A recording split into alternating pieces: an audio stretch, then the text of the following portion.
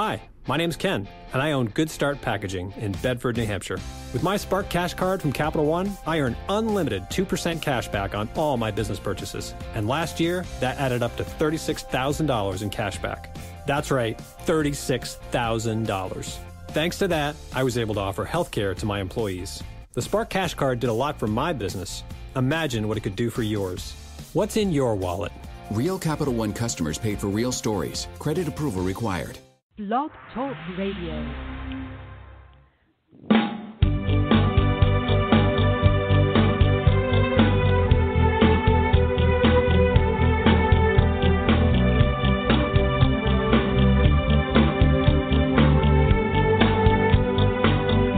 Every breath you take, every move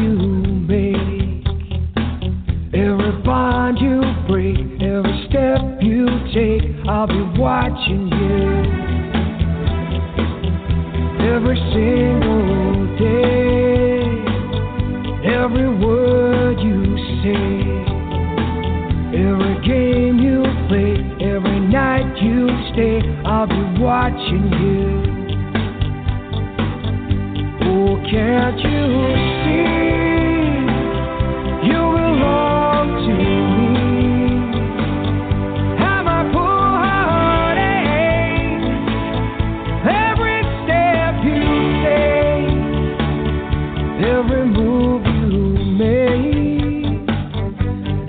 Make,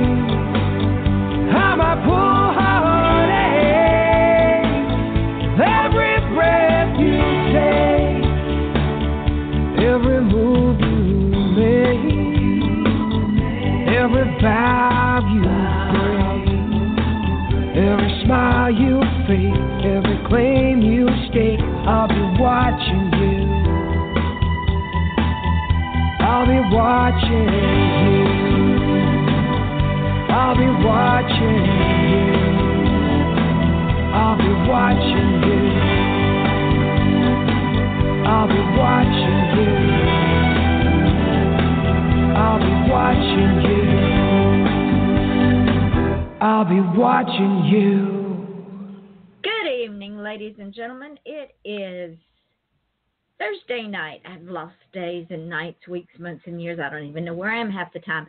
It is 8 o'clock Eastern Daylight Time, and it is Off the Chain. I'm your host, Yvonne Mason, and I want to welcome each and every one of you to the show tonight. And before we get started with our show, and I go through all of my spiel and, and do my sponsors, I want to send out a prayer to all of the folks that are in the path of the hurricane. Florence is making herself known far and wide. Right now, she is over 450 miles wide. She's blowing in at 105 miles an hour, which is a Cat 2, which normally wouldn't be so bad, except that with the wind, she is bringing storm surges and rain. I mean, we're talking 40, 50 inches of rain plus the storm surge. And if the people that live on the coast that are have hunkered down in their homes, the storm surge is going to be 13 feet high at least, so that will cover an entire house. So add add North, South Carolina, Georgia, Virginia to your thoughts, prayers, good wishes, whatever you do, because this it's like a friend of mine says when you look at the satellite pictures of this storm it looks like a katrina that's that's how ugly she looks And I don't know if we've all pissed God off. I don't know if God's decided He's going to teach us all a lesson. But that's not the only one that's out there. There's one that's due to hit Hawaii, one that's headed up to the west side of us, up to the Gulf of Mexico. Plus, there's another two or three sitting out there that are trying to decide how bad they want to piss us off. But right now, think of the people that are in the wake of Florence because she is one ugly, ugly hurricane. With that being said, I want to welcome each and every one of you to the show. I want to say thank you for joining us tonight. This is not my show, it is your show. You, the listener, you, the guest, and because of all of you, we're well over 200,000 listeners with all the podcasts we're on, as well as this show. Ladies and gentlemen, this show's two years old. We're heard in over 200 countries. And it's because of all of y'all. Y'all have supported the show when when my husband has been so sick, and y'all continue to support the show. You continue to bring the guests. My guests keep returning. I absolutely love them. They are all so magnificent. They they literally almost fight over getting on the show. And, and that's humbling. That that's one of the most humbling experiences I've ever had, and I, I want to thank them because all of you all are so special and with that, I want to say there's two ways you can get on the show. One, you can come on as a guest, whether you're an artist, a musician, a writer, have a political platform, a religious platform, a passion, a special cause. I don't care. That's why we call it off the chain. It it is your show. It is about all about you when you're on the show. Or if you're rather shy and don't know how to to deal with live radio, which it really is just a conversation between you and I. You can become a sponsor for the show. And no, ladies and gentlemen, I'm not out to get rich because I don't want to get rich. I just want to give you an opportunity to be heard even more. So for $10 a month, that's 30 days, no matter how many shows I do in that month, I will run your ad. I'll either do it in an MP3 format or I'll read it depending on how you send it to me. You can contact me at offthechainradio at yahoo.com or you can contact me on Facebook and find out more. It's really simple. And with that, I want to welcome a brand new sponsor to the show. She has been on this show. She's a I love her. You guys may know Amy Law. She has been on my show. She's a comedian and actor, and she lives in Atlanta. She has a unique outlook on life. She is fall down funny. Most people hide their failures, but Amy wrote a whole book about hers, and she wears it like a coat. It's called The Book of Failures. The book opens with, quote, I have been married for 20 years, not to the same people, but 20 years nonetheless, end quote.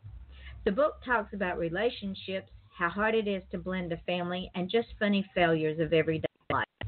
It's been a Everybody needs more laughter in their lives. Buy it for yourself or for a friend that is going through a hard time. The Book of Failures is available at some Barnes and Noble stores and on Amazon as a paperback ebook, or you can listen to it as an audio version. The Book of Failures by Amy Law. Get it today. And with that being said, if you're into audiobooks, then you need to go to audiobookwormpromotions.com forward slash adopt an audiobook. Looking for a listen? Adopt. Don't shop for your next audiobook favorite. The Adopt an Audiobook program has new releases and audiobooks for every genre. All audiobooks are free to interested reviewers, and that is the key, ladies and gentlemen. You get a free audiobook, but you have to agree to do a review. Simply listen and share your thoughts. That's audiobookwormpromotions.com. Adopt an audiobook. Many of you know Jay Traveler Pelton. She has been on this show. Well, she's released two books back to back. One of them, Kai Dante Stratagem, goes like this People are so happy about the destruction of the anti fertility virus, they want Kai to run for president. Kai Dante for president, indeed. The Oberlins are back and are successful in diverting the virus that is destroying the fertility of the populace, but in return, sanctuary is attacked and the family members are scattered to fight radiation sickness alone. Given only a strange poem to use, will Kai and Micah, her brother, figure out the puzzle before they all die? Who in the family will survive to destroy the tyrant running the Brotherhood? The, the second book she put out is called Clan Falconer's War. It's a fantasy set in the future medieval times after the Big War. Lucian thought that as the youngest son of the manor, his future would be as simple as a land owning farmer who raised good horses and went up to the manor to visit the family for holidays. After all, there were seven brothers older than he with much more entitlement to the inheritance. However, through a massacre and magic, his simple acceptance of a quiet life was going to come to a roaring end as he ends up leading the forces of his clan and the kingdom against an evil greater than any wizard he had ever faced. An evil led by his own brothers. Will he, his clan, and Falcon Crest survive the war? Last but not least, Diane Moat. She has a series. It's the Sam Holden series. And Sam Holden, who is our favorite vigilante, is back. The third book in the series has just been released, and Dog Bones, Sam's quest to avenge abused animals, is threatened when the FBI comes after her on one side and the commissioner wants her dead on the other. Will Sam's double life be exposed? Will she be able to protect the animals, her friends, and herself? Check out Dog Bones by Diane Moat everywhere ebooks are sold.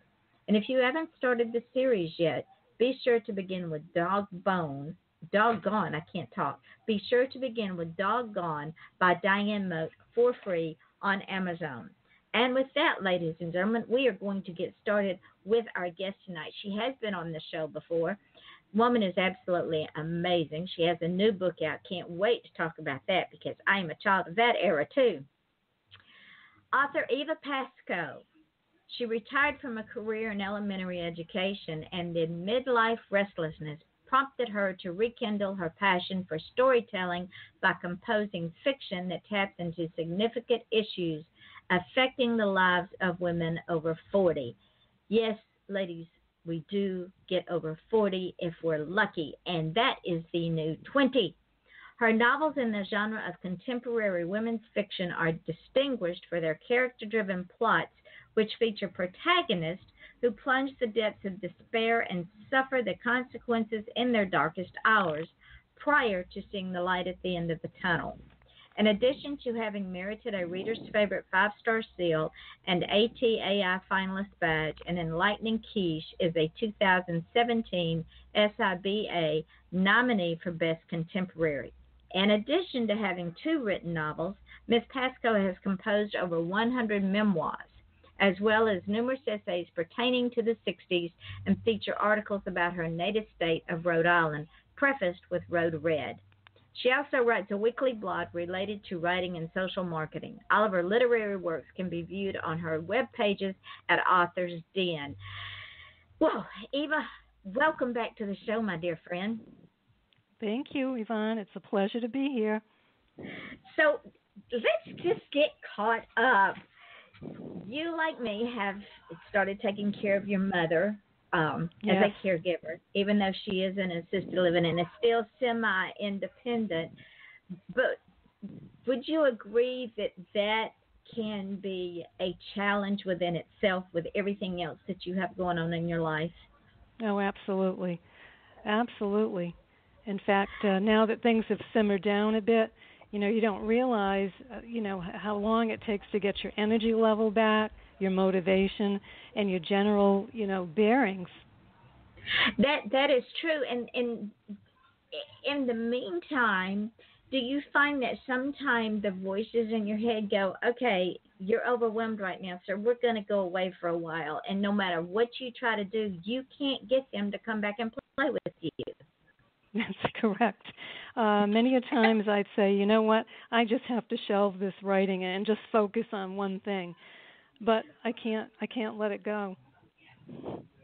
I, I understand that. I have four books that I keep looking at, and I keep saying I want to write, but by the time, because my husband is totally disabled now, by the time I I get him up in the mornings and take care of all of his needs and get him in his chair and get him fed and give him his medicines, I'm exhausted. I don't want to do anything. I barely get the show together. Someday. Oh no, I, I understand that totally. I've done that too. I've shelved things because you're just so exhausted. It's mind exhaustion, body exhaustion. It's just overwhelming. Something. It, you have to stop in the middle of it because there's a need that has to be met. And i would not trade my life for anything in the world but i did have to reprioritize my life. And he is my biggest supporter. He has encouraged me when i wanted to roll down that rabbit hole. And he's even given me ideas for books. And now it's his turn. And knowing that and knowing that that the characters will still be there when I get back to them. They're not going anywhere. Exactly. You do have to reprioritize, and and it's um, you know I feel it's a privilege that I'm able to do this for my mother. Absolutely. Thank you for saying that because so many people say they're such a burden. They're such that. Oh no. Well, what they don't understand is they're seeing people wipe their butts when they were little. exactly. So and in my mother's for- case, yeah, my mother's case, she read to me probably, you know, when I was a toddler, and I credit her for giving me the love of reading and, you know, the love of language, so I can string words together. So it all goes back to her.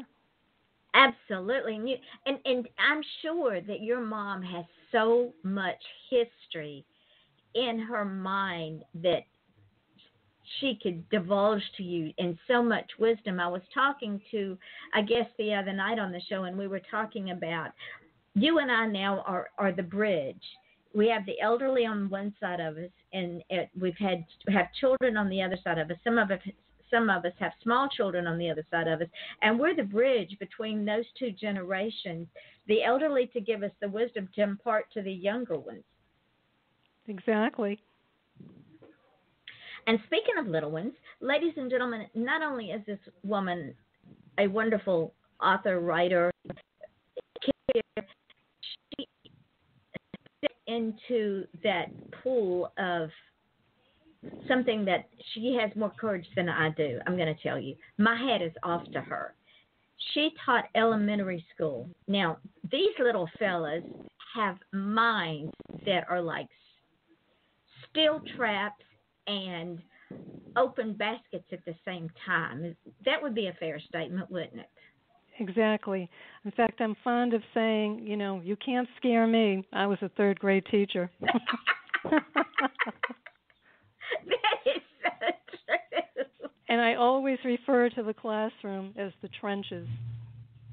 Because you were in the trenches, because that those informative years, they want to know so much. They're they're trying to learn how to exert their independence, but they still need you. They still need that anchor to hold them down when they try to step off the cliff.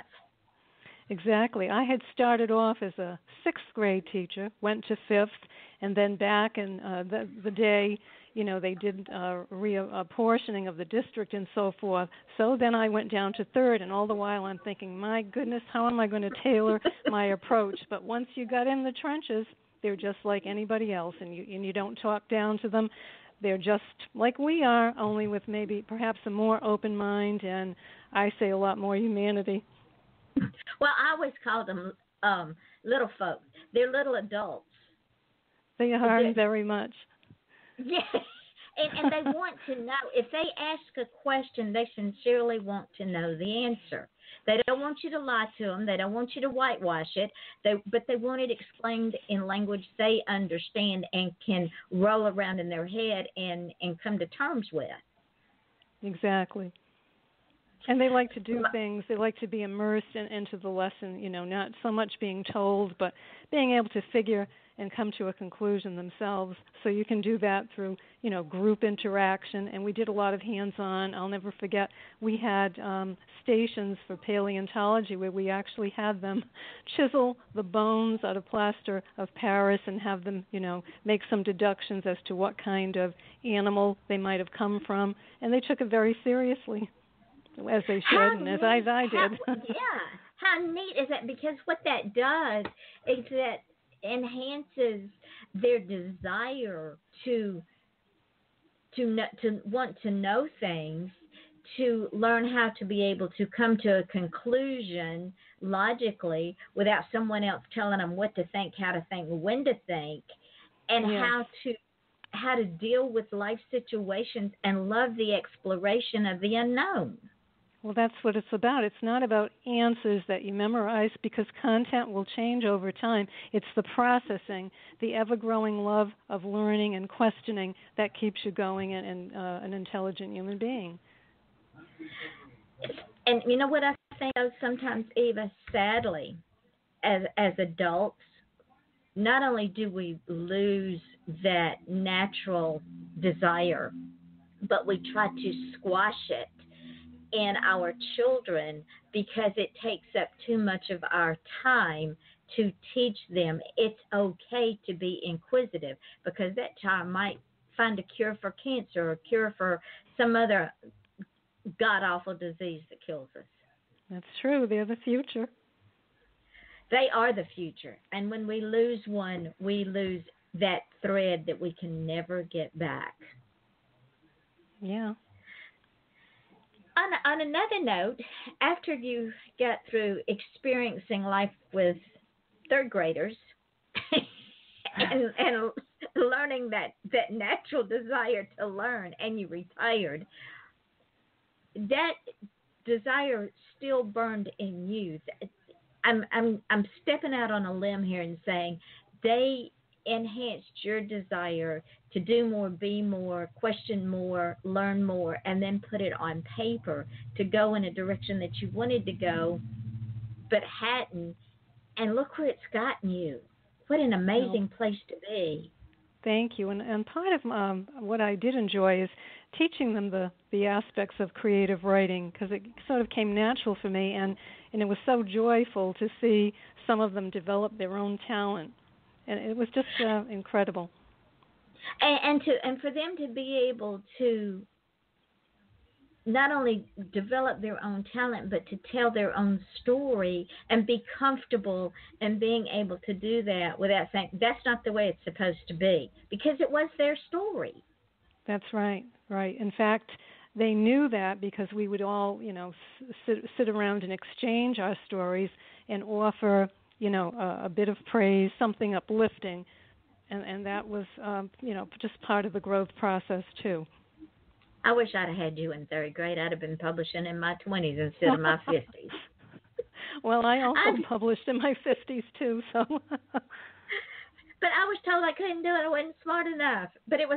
But they always wanted to change my story. my story would, it always took me off.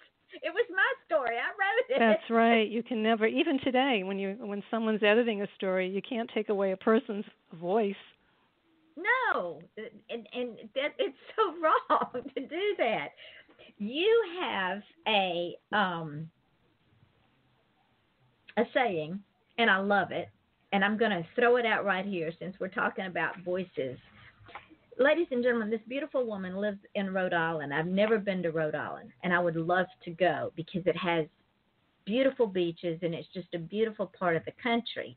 And this is what Eva says she says, because she she rides these beach roads on the road, as in life, I accelerate.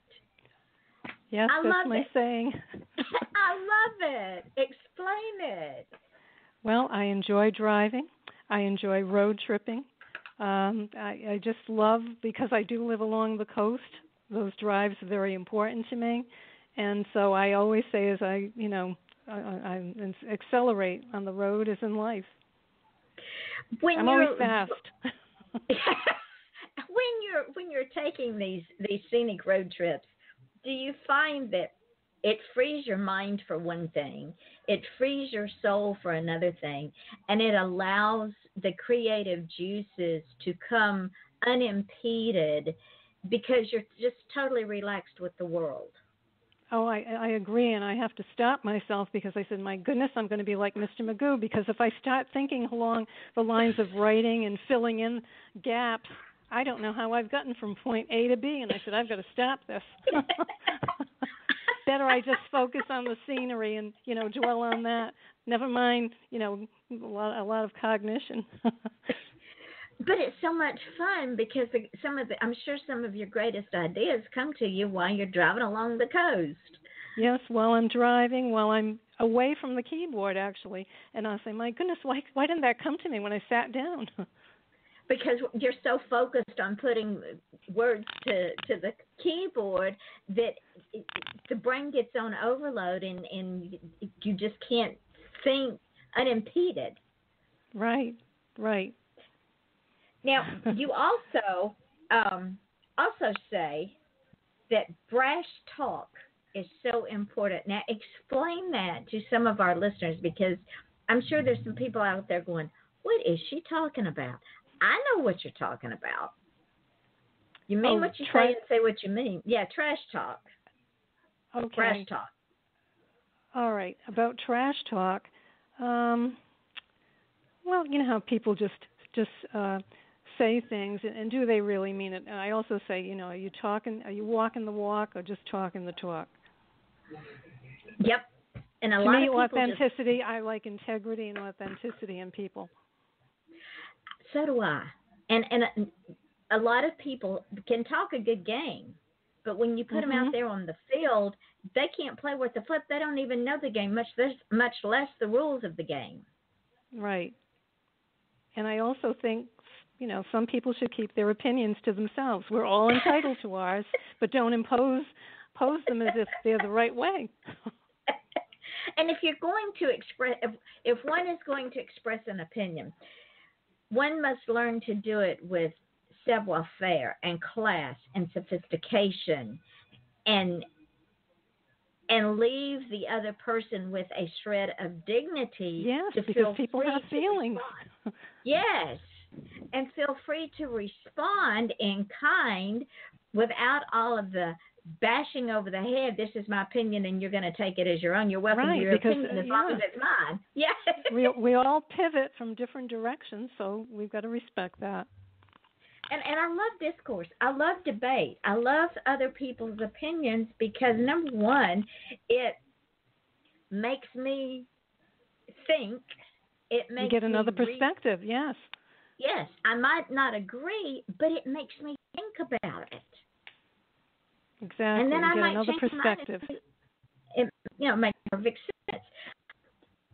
In your writings, because in your in your in your books, you write about flawed women, Yes. and knowing you like I do, I have a feeling that that comes across in your in your character with your characters in your book that that even with the flawed women, they not only talk the talk, they walk the walk. Yes, and I feel um, very satisfi- satisfied and gratified that many readers have said they feel as if they know my characters. And some one person, one reader even said she began to care for one of the characters even though she didn't like her. So that was good. That means that that character's real. I love it. That that Well, that says you know, a we're, lot. we're all flawed. Every one of us is a flawed individual. So, you know, well, why not let that translate to book characters that, you know, stick to your ribs after the book is closed? And and Eva, I agree because in so many books that I have read in my 67 years, because I started reading before I went to school at five, six years old. I started reading at five years old, so let's say 62 years. Every book that I read, including the fairy tales, every book that I read, every character was perfect. The the the bad character, the good character, the in between character, they had no flaws. They were all perfect. And I'm the thinking, black and white, the- yeah. yeah, there's the, the, no, this isn't real world. We all have strengths and weaknesses and flaws. Why can't we write about them? Exactly. You also write something that I found on my deep dive review, which I agree with wholeheartedly. And and ladies and gentlemen, for you all that are out there and you're listening to this show and you've listened to my other shows, and I talk about making your dreams real, and I talk about don't be afraid to live your dreams. Eva writes something on her blog page that resonates very well with me because when I read it, I thought of my brother, and he's had to work to make his dream. I mean, really work because not only is he challenged, Mhm. but he he wasn't even supposed to do what he did. So what you say, Eva, is fulfilling a dream requires work. It sure does. Explain explain that to our audience. Well, for me, coming from because I, I write, so it's coming from that perspective. Um, it doesn't. I'm not going to say it comes easy for me. I mean, I do have a natural flow with words. I feel, and I I I, I see where my story is going to go. But I'm so anal in trying, and I'm not perfect, but doesn't stop me from trying to be. So, you know, my output each day might be 100 to 200 words, which is kind of laughable some authors are so you know prolific they might be writing five to seven thousand words a day but that wouldn't be my output. Like today i did about two hundred and i said oh well this was good. I feel i nailed this. So everybody's self satisfaction is different. Everybody's output is different but it's still working hard.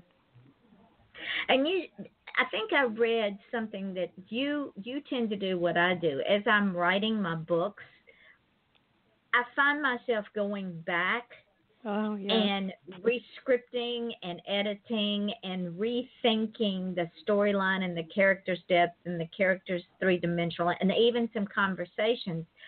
And Yeah. I, I I can't help myself. I think it's it's I don't know. I think we just make it more fleshed. It, it comes out better in the end to me. That's how I work. Everybody works differently, but that's how I have to do it, or I don't feel right. Yeah, I can't go forward until I go back and because it starts nat it's like a little worm in my head that starts niggling at the back of my brain and it will just irritate the daylights out of me until I go back and fix it. Yeah, I'll know when something's not right. I'm going, oh, I better leave it, but uh, because it doesn't sound right, because it doesn't have the right flow. It doesn't. I'm not sure the reader's going to understand what I mean. So it's gotta it's gotta resonate, or it's not good. I'm not going forward. So we just keep going back and refixing it. yeah, three steps back. One step forward, three steps. Yeah. It's no wonder we get through with anything, but that's okay. Oh. We do it eventually. Takes me a long time. but it's so worth it in the end. Ladies and gentlemen, this is. I'm your host, Yvonne Mason, with my guest, author Eva Pasco. And we are going to talk about some one of Eva's passions when we come back. We're going to pay a few bills, and we will be right back shortly. Horses See Ghosts, a new poetry book by Gannat Wise. It's been called Poetry for the Rest of Us. Amazon. Do you have cougars on your porch swing? Are horses your new best friend? Do your nicest shoes get buried knee deep in snow as your toes turn blue? Are you bothered by wolves at your woodpile? No, not that kind of wolf. Join wildlife artist and author Nancy Quinn and her family as they discover an exciting new life in Go West, Young Woman, a true Montana adventure. Available online and in bookstores. Or visit quinnwildlifeart.com for a personalized signed copy. Critics agree it's a hoot.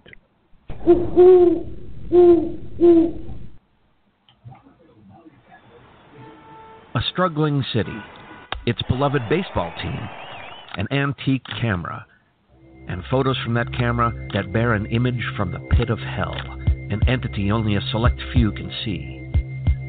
Journalism professor Buddy Cullen is determined to track this demon down. But who is the hunter and who is the prey? And who will be the next target of mankind's mortal foe? Mortal Foe, available at Amazon.com.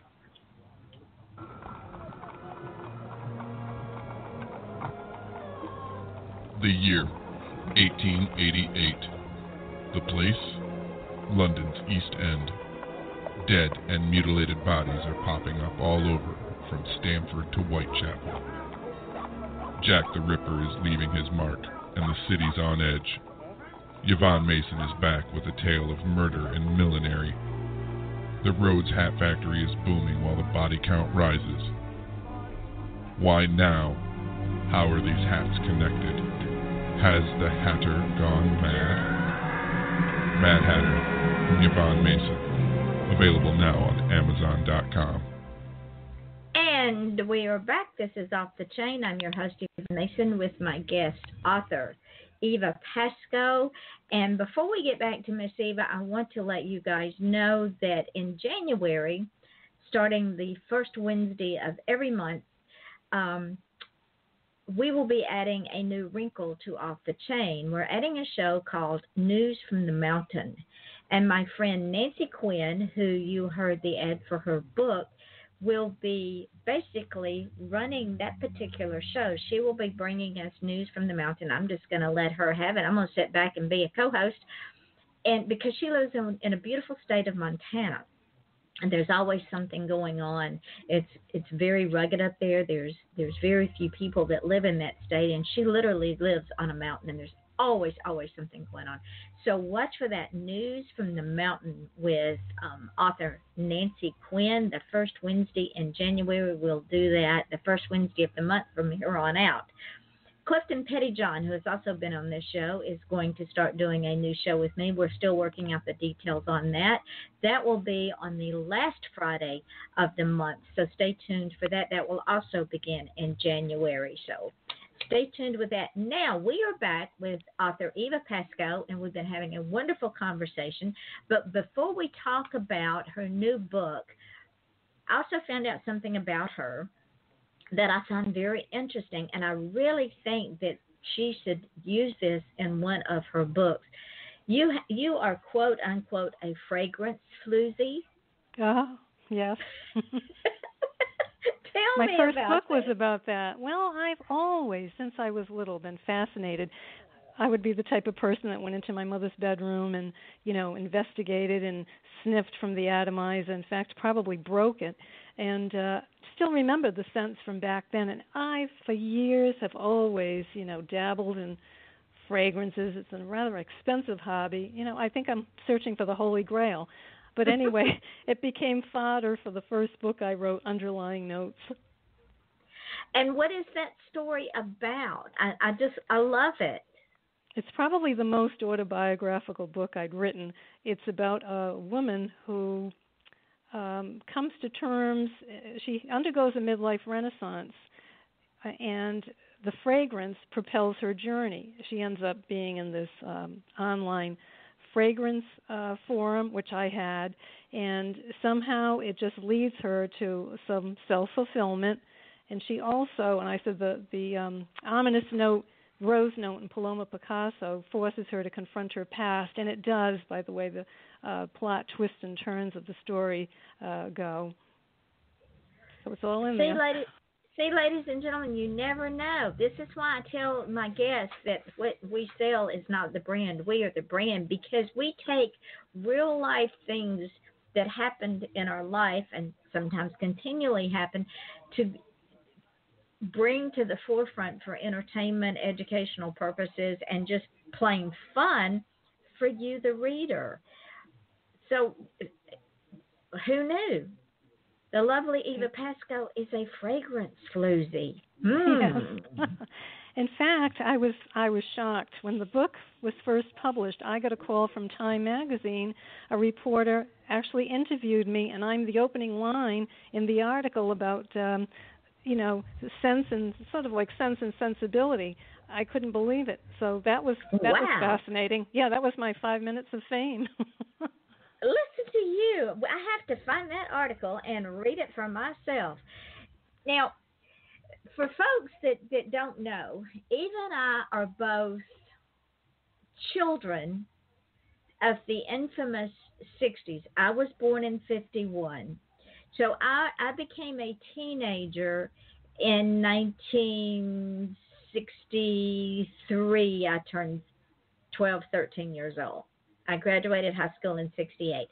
So we are a product of the age of Aquarius. That's what they said it was the age of Aquarius. It was the time of Vietnam, and God love our servicemen and women that suffered through that war and then came home to being spit upon and called baby killers and being insulted and downgraded. They didn't ask for that. So God loved them for their service we were the children of a new age of music, of thought processes, of independence, of, as they like to say, drug, sex, and rock and roll. And one of the, the things from that era was mushrooms. Don't ask me why, but it was.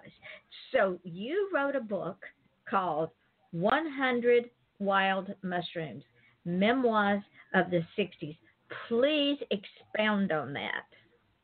Okay, and the book really mushroomed because when I wrote the first book about fragrance back then, about 10 years ago, you know, we we really didn't know about acquiring reviews and everything. The thing at that time was to get your book at as many sites as you could that were related to the topics of your book. And because my book did broach upon the 60s a little bit, I said, well, let me, you know, see if I can submit a story or article to the 60s official site. And I did. I wrote my first memoir called A Mini Tribute to Twiggy. And it was based on something that, that happened to me. Uh, the webmaster there um, invited me to write more. So, to keep up the web page, to keep up the momentum, I ended up writing 100 of them.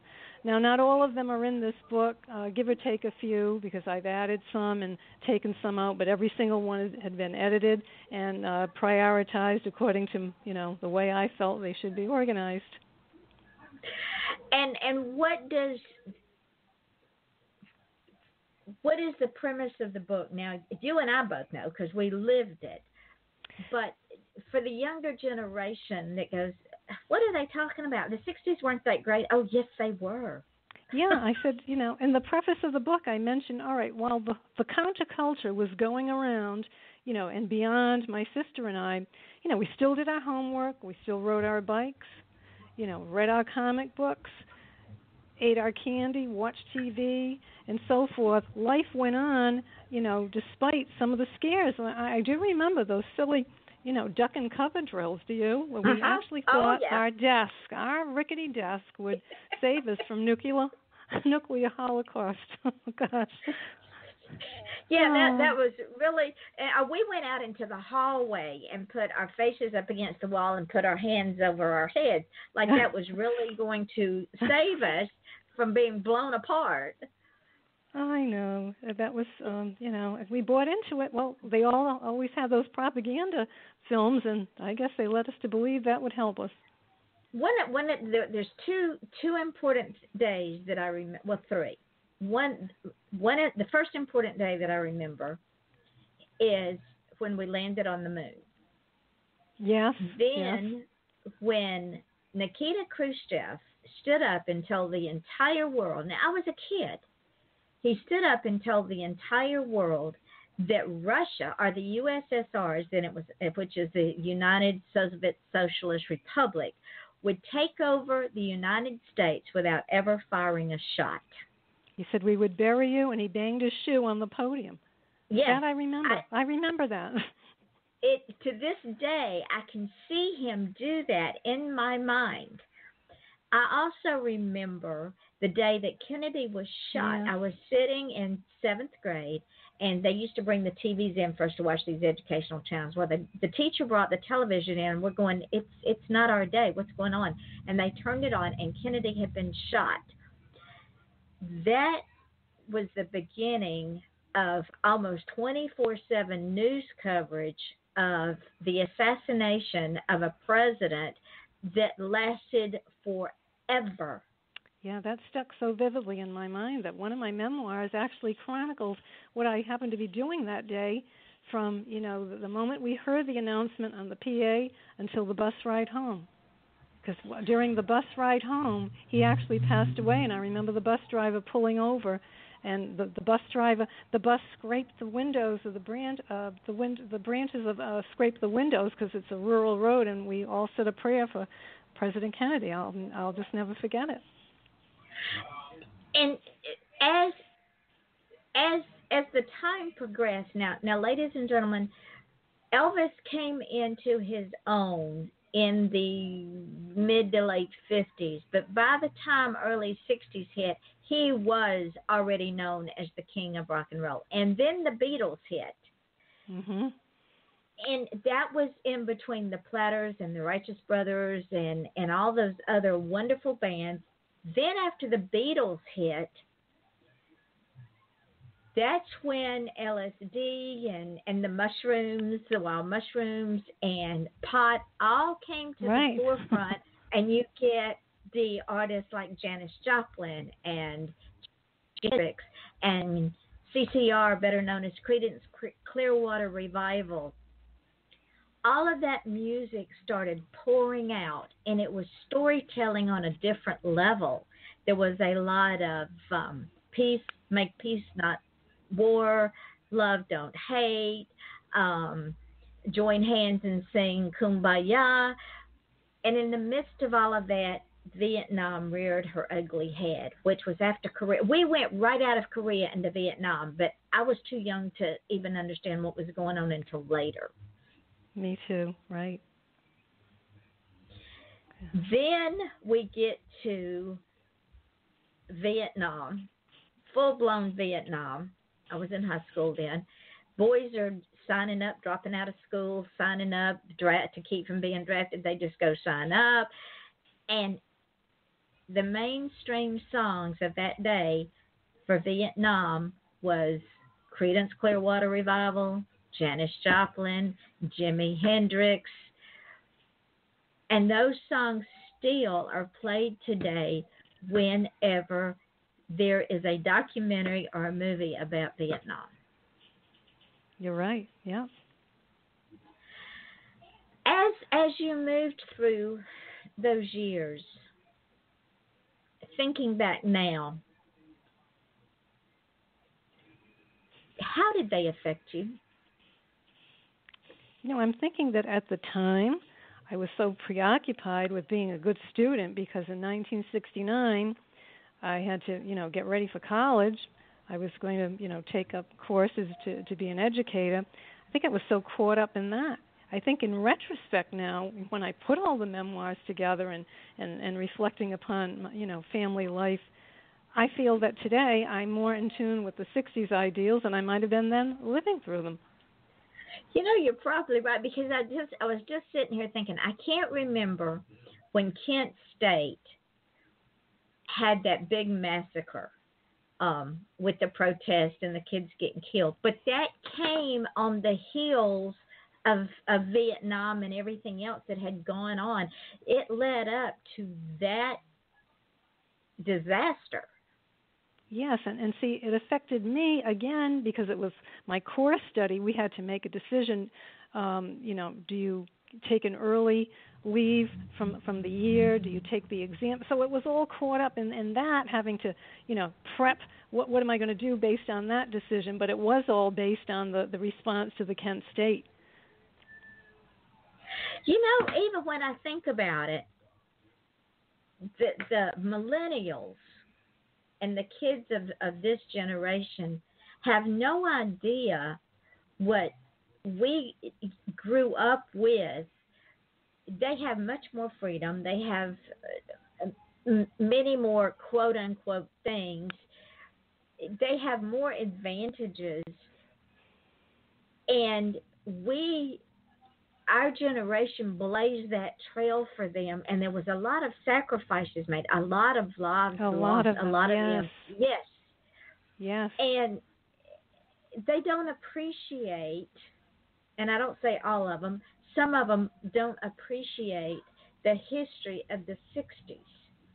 Just think Because back to the air, yeah, the airline stewardesses alone. Look how it, it was kind of a sexist job, and they were so discriminated against. And look where we've come today. Of course, it took you know women at the forefront to to, to make some of these changes. Yes, absolutely. And it took it took courage in the face of adversity. Um, okay, now we have, for instance, we have a non-hostile work environment law. When I was in corporate America as a young woman, that was an accepted practice. You didn't Mhm. dare buck it. And women were too uh, afraid to lose their jobs because if they did buck it, they'd just fire you. They didn't care. Right. It was your word against Right. theirs. yeah, there was no recourse. No. And so I'm going to go out on a limb here and say this this group of kids owes us a vote of thanks. because they would still be in the dark ages. Well, the 60s, you know, were a force to be reckoned with. I mean, thank goodness we have those people who went out on a limb. And that includes those people who gave their lives in the Vietnam War. They didn't have a say. Exactly. They didn't. It, the draft was prevalent. You turned 18, you either went in service, or you were drafted in the army, or you picked a branch, or you went to college. And just because you went to college didn't mean you were exempt either. Because if you No. dropped out of college or got bad grades, guess what? Uncle Sam came knocking on your door. Right. Yes, ladies and gentlemen, we are taking a trip down memory lane. The 60s were enlightening, they were educational, they were exploratory because we were the yeah. children of we were the children of post World War II. I, w- I would venture to say that many, many of us grew up not poor but not rich. We grew up in a different era. My my my mother and daddy grew up poor. I grew up poor, but I learned so much. I, am grateful for those years as I get older because it taught me it's okay to be who I am. Right. I learned acceptance, I believe, during my childhood because our neighborhood, our post post World War II neighborhood, ended up having um, a German soldier who had actually served um, the, the you know the Nazi regime. He became one of the neighbors and a Japanese war bride. Now they assimilated our culture, and I remember my mother always baking a cake before we went visiting to welcome these neighbors into the neighborhood. So you know you got to learn the different cultures and how these people try to you know become truly uh, Americans. and and they they didn't know how they were going to be accepted that and i'm sure that nazi soldier was was pushed into service i'm sure he didn't want to become a right. nazi soldier No. and no. lived with regret the the japanese war bride she left a country totally different in culture and ethnicity to come to a strange land and we just got through killing them all over there i mean Exactly. Yeah, you're right. So yeah, I agree. The '60s taught us tolerance. It taught us acceptability. It taught us kindness in a way that, well, some of us, except for those that treated our servicemen and women, yeah, I, I have a hard time getting past that one. Yeah. But it it it taught us that war is for politicians and generals. Um, It sure is.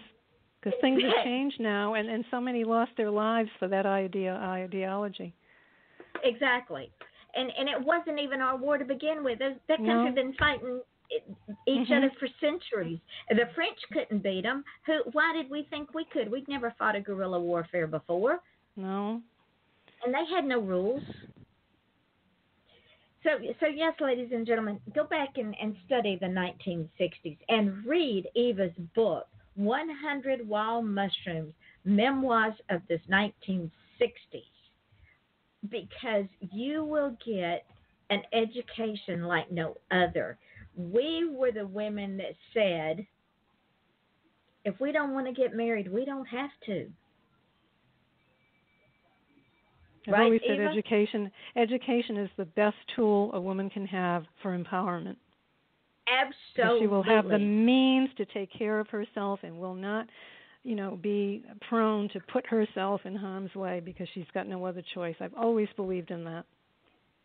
See, so ladies and gentlemen, absolutely read her book, 100 Wild Mushrooms Memoirs of the 60s. Now, you also did an anthology of adult fairy tales. Yes, and I'd like to give a shout out to my fellow collaborator, collaborators, Aaliyah Del Rey, Renee Gautier, Lara Shante, Je- Jeannie J.B. Richards, and Joanne Van Leerdam. Um, they're fabulous authors who are part of this anthology. And what is and it just won. It just actually won um, an official selection in the 2018 Summer Book Awards for New Apple Literary Services. So we're very proud of that. Wow. And it's adult fairy tales? Yes, there, some of them are reimagined, and uh, others are just you know brand new. But they're all very unique and creative. And with that in mind, since we are getting to the end of our hour, if you can believe it, I can't. It just went by so fast. Thanks to you. You're you're fascinating. No, you are. I can sit and listen to you talk for hours. Tell the folks, my dear friend, where you can be found and where your books can be found. Amazon is probably the easiest place to find them. And the website that you mentioned on Author's Den, all you have to do is go to Author's Den, look up Eva Pasco. You'll see uh, the books there with the links to Amazon. Rather simple. And they can also find you on Facebook, right? Yes, I don't have an author page per se, but I am, you know, there.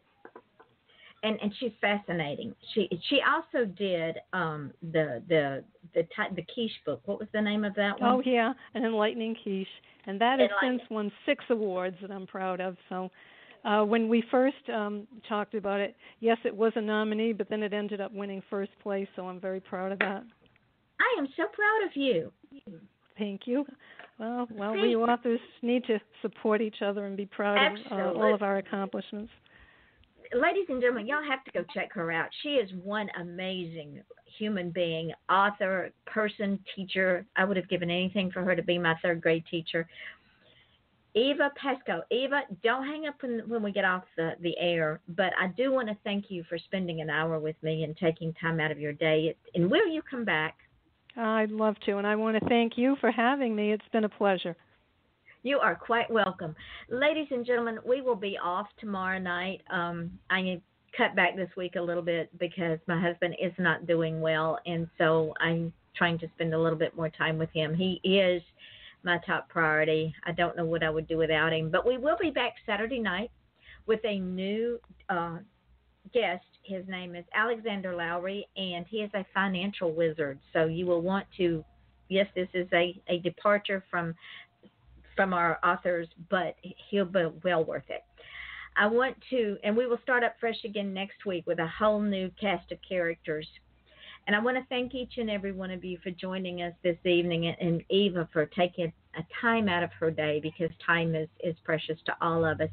And as you all know, there's a couple of things that I say at the end of every show, and, and ho- I hope that I live up to my own expectations. I know I fail miserably sometimes because I am flawed. And as Eva says, we are all flawed, but that doesn't make us bad people. But when you're out and about, understand this people will forget what you look like, they'll forget your name, they'll even forget what you're wearing, but they will never, ever, ever forget how you've made them feel. And we're all on a journey. And some days, just a, a kind word, a warm smile, a quiet touch will not only save someone's life, but make them want to face another sunshine day. It's it's very important that we are kind to people. It it doesn't cost anything to be kind, and it makes us feel better because we get so much more back in return when that smile is returned. We can walk away with with gratification in our hearts and a feel good moment. And yes, it's an emotion and it passes, but it still sits there. So be kind to people. Also, if you want to achieve greatness, ladies and gentlemen, please stop asking permission because nobody's going to give it to you. And it's like Eva says living a dream or fulfilling a dream is work. Don't ever allow anyone to steal your dream. Work at it. Encourage your children. Be Eva as a third grade teacher. Encourage your children that no matter what it is they want to do, they can do it. It's just a matter of giving them their wings and teaching them to fly and then being there on the ground when they fall down so you can help them get back up and fly again. Because as Eva says, the children are our future. And without them, we have no future. So, with that being said, I want to thank you all again for joining myself, Yvonne Mason, here at Off the Chain with my guest, the lovely, lovely author, Eva Pasco. Go and get her books 100 Wild Mushrooms, Memoirs of the 1960s, her anthology of adult fairy tales, her other book that talks about her fragrance floozy business, and with everything else, find her because you will love her writing. She's wonderful. We will see you all again Wednesday night. Share the show. Um, tell other folks about it. If you want to be a guest on the show, contact me. If you want to run an ad, contact me. We will see y'all Wednesday night here at Off the Chain. I am your host, Yvonne Mason, with the lovely author, Eva Pasco. And until Wednesday night, we say good night. Okay, so what I will do now, Miss Eva, just like last Mhm. time, when the show goes up into archives, I will put the link up on my page and tag you in it. And then tomorrow, I will tag you in all the podcasts that I put up. I don't know if you know it, but we're on Reverb Nation now. We're on iHeartRadio on two podcasts on iHeartRadio Southern Chats with Yvonne Mason, plus Off the Chain. We are on FM.com, iTunes, YouTube, TuneIn Radio, um, iHeartRadio, Podcast.com, Podcast dot com, Podcast Garden, SoundCloud, Mixcloud, and Spreaker, and some other oddball stuff that I don't put it up on, somebody else does. Mhm. Excellent. So you're heard all over the world, my friend, in Uh, places I never even heard of. well, it's it's my pleasure, and it'll be my pleasure to promote uh, what we just did too. okay, and I will I will get you back on after the first of the year because I know you're going to have another book out by then. Well, I hope so, or I'll be able to talk about it. That's for sure. Okay. and other stuff, Thank- and other stuff. Absolutely, because we got to revisit the '60s again. I'm telling you, we Excellent. just got to. Okay, gotta that was fun. All right, Thank you so much, Yvonne, and I hope your husband does okay. He will. It's we're on the backside of his journey, but we just take every day and Right. and run with it like it's the last Well, one. Many blessings to both of you. Thank you, my darling, and and give your mom a big fat hug from me and tell her it's from a I total will. stranger, but she needs a hug. All right. Thank you so much, Yvonne. All right, sweetheart. Talk to you later. Yep. Take care. Bye bye. Bye bye.